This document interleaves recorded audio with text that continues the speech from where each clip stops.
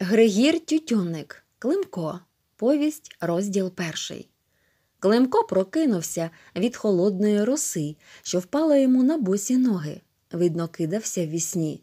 І побачив над собою скам'яніло бускове небо, яким воно буває лише восени на сході сонця, без жайворіння, без легких з позолотою хмарок по обрію, без усміхненої радості пробудження. Климко підібгав ноги під поле діжурчини, щоб зогрілися, і онімілою тремтячою рукою дужче розгорнув солому напроти очей. Він спав під скиртою. Сонце, мабуть, тільки що зійшло, бо від скирти через тіки, що далі на стернях лежала довга тінь у сизій росі. Солодко пахло втоптаному землю набубнявілим житом, що вже вкинулося в ключечки і сухими мишачими гніздами. З вечора миші лоскотали климка, гасаючи йому по руках і ногах, пищали раденько, що є їм розвага. І Климко проганяв їх усяк, сукав ногами, кишкав на них сердито, аж доки і заснув.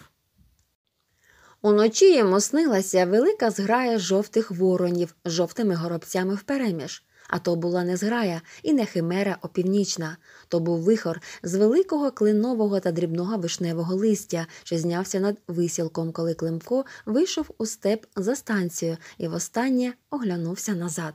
Та листяна зграя стовпом стала в піднебесся вище і вище, а там здрібніла, розсипалася та зникла геть з очей. Де те листя потім сіло, чи може воно ще й досі кружляє? Климко звівся на ліко, щоб краще було видно шлях, яким йому йти далі, і його затрусило так, що аж зуби зацокотіли від терпкого, застояного холоду в усьому тілі. Нічого, подумав, пробіжуся з гори, зогріюся.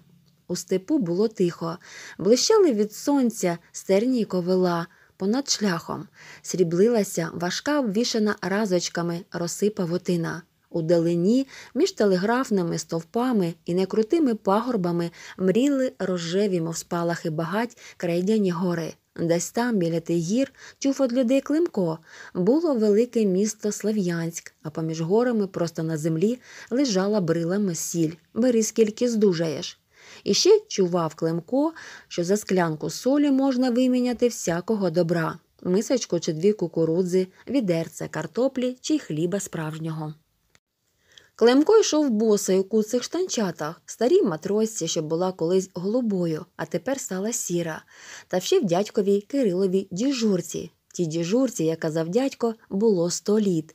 І не рвалася вона лише тому, що зашкарубла від давнього мазуту. Не брали її ні дощ, ні сніг, ані сонце. Пахла діжурка паровозом. Уночі вона нахолоняла, а вдень аж димувала на сонці. Пахла ще дужче і пекла плечі та спину. Климко жив удвох з дядьком Кирилом, відколи осиротів. Жили вони в залізничному бараці при самісіньких коліях. І коли мимо гуркотів важкий ешелон, барак теж ніби зривався з місця, двихтіли стіни, дрижала підлога, брещали шиби у вікнах, а барак мчав і мчав.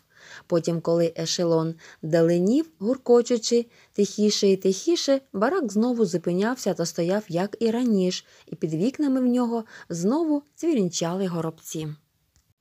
Дядько Кирило був машиністом великого паровоза Феде і ходив на роботу коли як то вранці, то вдень, то посеред ночі, коли Климко вже спав. Повертався він завжди несподівано із залізною скринькою в руці, зморений очима і усміхнений до Климка. Як тут мій помощничок, не боявся сам уночі, питався, бувало, знімаючи шкіряного картуза з білими молоточками, від якого на лобі лишався червоний тугий пружок, що ніколи не встигав зійти до чергової зміни.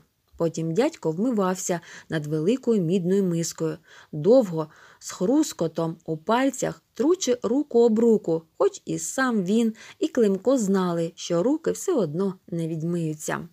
Ось побільшаєш, Климе, і гайда до нас на паровоз, казав дядько.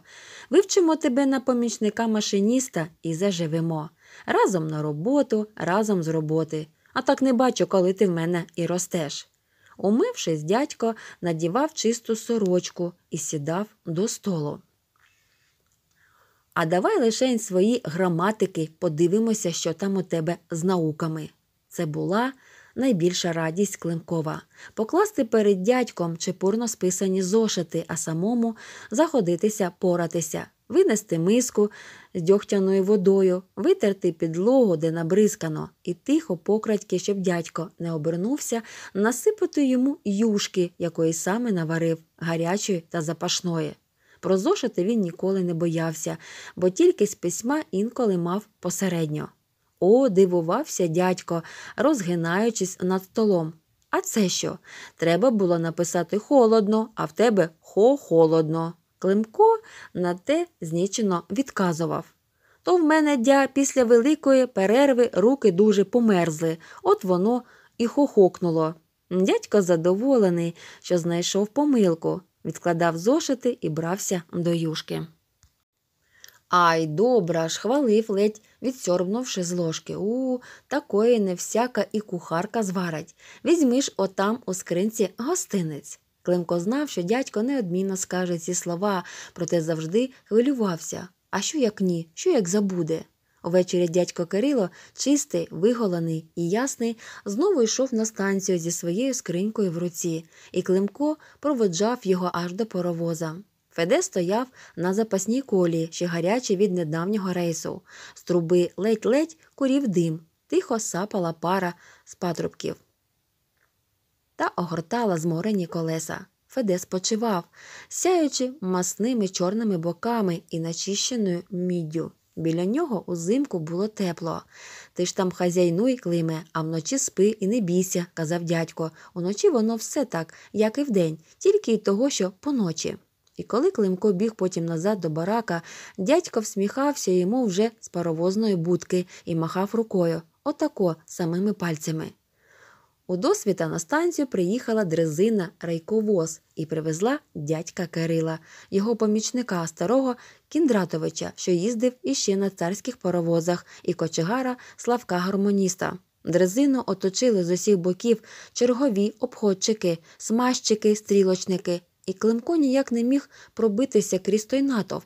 Він побачив тільки, що всі познімали картузи і похилили голови, і закричав, і застукав кулачками в погорблені спини. Пустіть мене.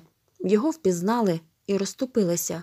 Климко побачив лише сиву дядькову чуприну з-під брезенту, очепився за борт кузова, щоб залізти нагору, але хтось придержав його за плечі і сказав Зараз, синку, зараз подивишся зблизька.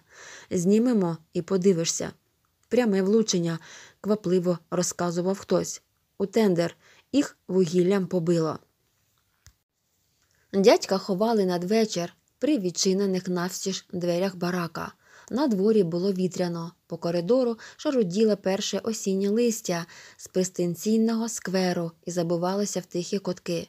Виходили мовчазні зморені залізничники, промащених мазутою робах, знімали картузи, прощалися пошепки з дядьком і знову йшли на роботу, зітхали і потихеньку схлипували жінки, які зійшлися з усього барака, і тільки одна серед них тітка Мотя з висілка плакала вголос і припадала щокою до чорних, їх так і не відмили дядькових рук, складених на грудях. Вона частенько приносила дядькові чисті випрасовані сорочки, що пахли простим чорним милом. Після похорону тітка Мотя довела Климка до барака, заплакала біля порога і сказала Може б, ти до мене перейшов? Куди ж тобі тепер діватися? Хто тепер тебе догляне?